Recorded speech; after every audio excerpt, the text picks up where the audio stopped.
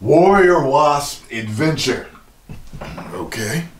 I'm going to assume that he doesn't get stung. But many of you sent this to me to me today, so I'm going to check it out. Even if he don't get stung. Let's do this.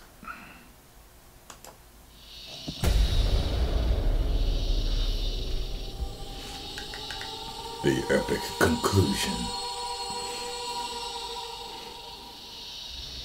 to the Sting Pain Index. I just know that if this is more Oh, painful in two than Bullet Ant, days. it's going to be one rough evening for Coyote Peterson. What I'm gonna try to do is see if I can get harvester ants on my hands and let them bite and sting me for 60 seconds. If you guys want me to be stung by the bullet ant someday, I think you have to walk before I you never can saw run. that one. Where he had the harvester ants. Ah, that was one on my neck. Mario, get the one off my neck. this is crazy, guys. This is crazy. Ah, my nerves are going this much for the velvet ant. I can't imagine what the tarantula hawk and the bullet ant are going to be like. I remember that one. I remember that one. Oh my god, Ah. this is super bad. You can feel it go all the way under the skin. This is the worst sting I've ever taken. Now they say that the sting of the tarantula hawk, it's like being stunned with a taser. All you can do is scream. Ah! John, you move I remember that one too. I remember that one Guys, I don't know. too. I don't know. I don't know. Yep. Suck him arm! Suck him arm! Yep. Oh, suck him arm! Look at that! Oh my gosh! Oh my gosh! Warrior Wasp is in a league of its own. And it... That Oh God. is an enormous nest of angry warrior wasps. Stay tuned, Coyote Pack. The Warrior Wasp Challenge is coming. Never seen a nest that damn big. My God.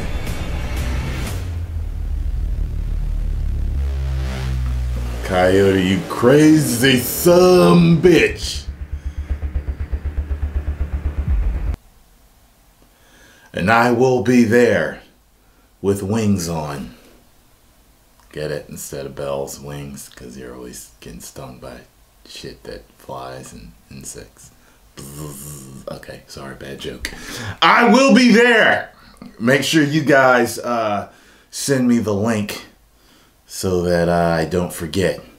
Because I'm going to have to see that one. It's culminating. I'm wondering what he's going to do next.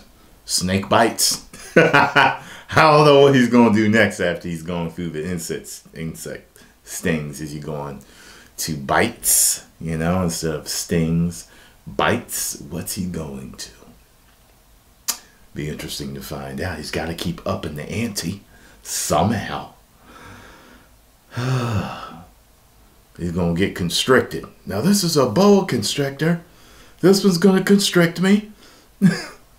It's going to move up the pythons, and the anacondas. Post your comments down below. Let me know what you all thought of you enjoyed my reaction. Make sure you subscribe to Brave Wilderness. And you hit the like button, subscribe, and share. And if you did not, you can kiss me and Coyotes, Black Derriers. 10 million subscribers. Woo!